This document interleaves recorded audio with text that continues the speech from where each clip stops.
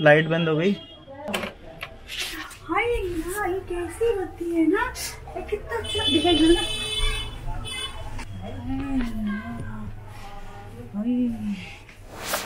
Saturday है।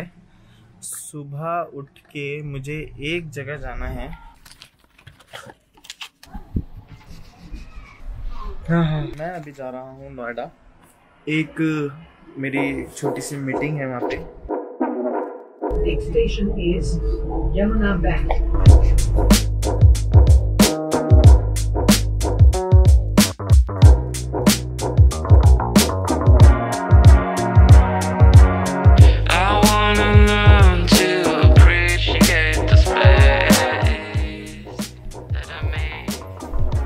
Lighting कैसी लग रही है पीछे?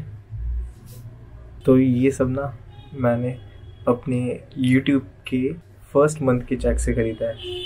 तो उसमें मेरे घर के लिए एक किलो नाशपाती आ गए थे और बाकी ये लाइट्स हैं जो मैं लेकर आया हूँ। आज का एपिसोड ना थोड़ा डिफरेंट है। मतलब ये व्लॉग नहीं है, एक डिस्कशन है।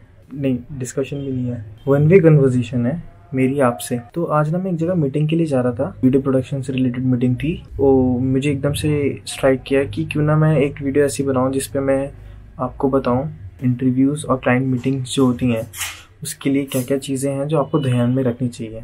ये पाँच स्टेप्स हैं जिसको फॉलो करके मेरे मोस्ट ऑफ़ द इंटरव्यूज़ बहुत अच्छे जाते हैं। तो उसके लिए पहला पॉइंट है होमवर्क जब भी आप किसी इंटरव्यू के लिए जाते हो तो सबसे पहले आपको ना उस ब्रांड के बारे में जानना ज़रूरी होता है। आपने बैंड बाजा बारात देखी है?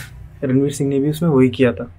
अभी तो आप पापा का बिज़नेस संभाल रहे हो। पर दिल से तो वही स्टूडेंट यूनियन के प्रेसिडेंट हो ना जिसने तीन साल लगातार अपने कॉलेज के सबसे धमाकेदार फेस्टिवल ऑर्गेनाइज किए। शादी करें चंदा नारंग के फीके फीके बेसुरे बेरंगे स्टाइल में।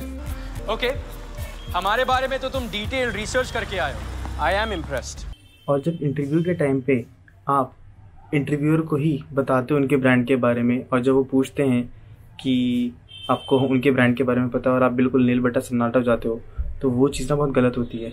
अगर आप इंटरव्यू देने जा रहे हो और हाई सैलरी एक्सपेक्ट करते हो तो एटलीस्ट आपको उस ब्रांड के बारे में पहले से पता होना चाहिए कि वो ब्रांड क्या करता है और आपसे क्या एक्सपेक्टेशन लेके आपको बुलाया है उसने। नॉलेज आप गेन कर सकते हो उनके सोशल मीडिया प्लेटफॉर्म से इंस्टाग्राम से, उनके फेसबुक से और उनकी वेबसाइट से, जहाँ पे आपको कंप्लीट इन्फॉर्मेशन मिल जाएगी और आपको पता चलेगा कि काइंड ऑफ़ वर्क वो क्या करते हैं।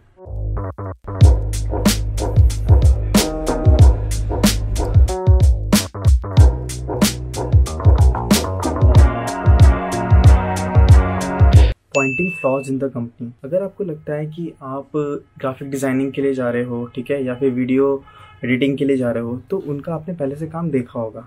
तो आपको पता होगा कि क्या चीज़ है उनकी जो उन्होंने सही से की है और जो नहीं करी है।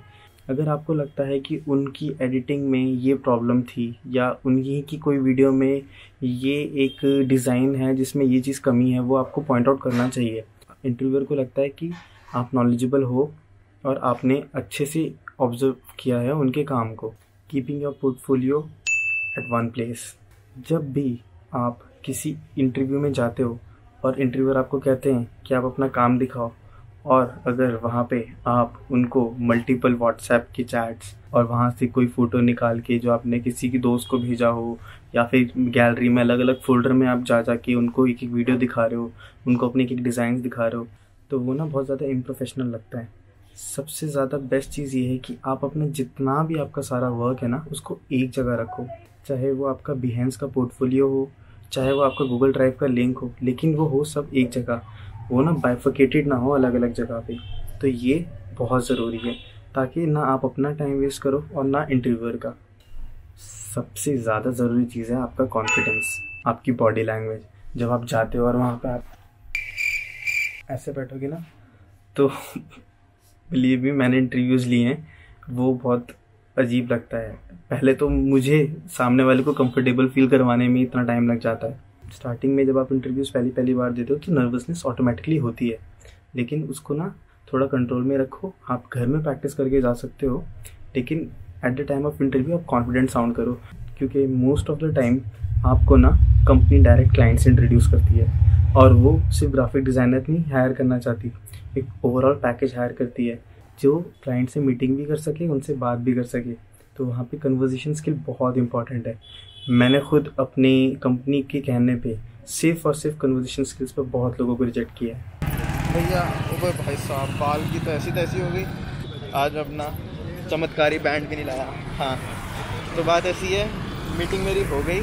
बाकी मीटिंग अच्छी थी।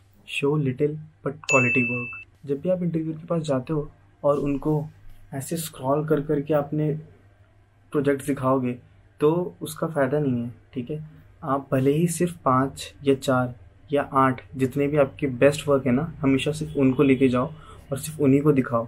क्योंकि इंटरव्यूअर के सामने अगर आप ये एक्सक्यूज़ दोगे कि ये वाला मेरा उतना अच्छा नहीं था, आप ये वाला देखो तो वो प्रोफेशनल नहीं लगता है। और एक चीज़ की मेरी रिक्वेस्ट आप लोगों से ये है कि जब भी आप अपने स्किल्स को ग्रो कर रहे हो तो हमेशा सिर्फ़ एक स्किल पे मत स्टिक होना, क्योंकि आजकल ब्रांड्स मल्टीपल लोगों को हायर करने से ज़्यादा बिलीव करती है कि एक ही इंसान को हायर करे जिससे और भी चीज़ें आती हों। तो ऑलवेज ट्राई कि आप अपने एक स्किल को मेजर लेवल पे ग्रो करो और बाकी साइड स्किल्स हमेशा रखो। और ये जो मैंने पाँच रूल्स आपको बताए, ये कहीं लिखे हुए नहीं हैं, ये मेरे खुद के हैं।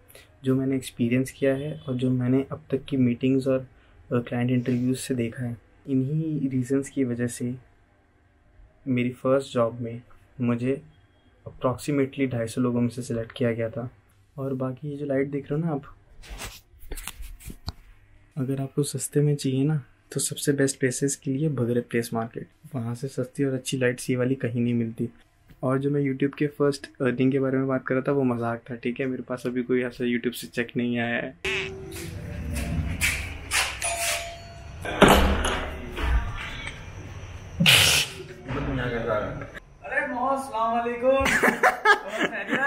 ये देता पूरा साथ मेरा। और बताओ कब आए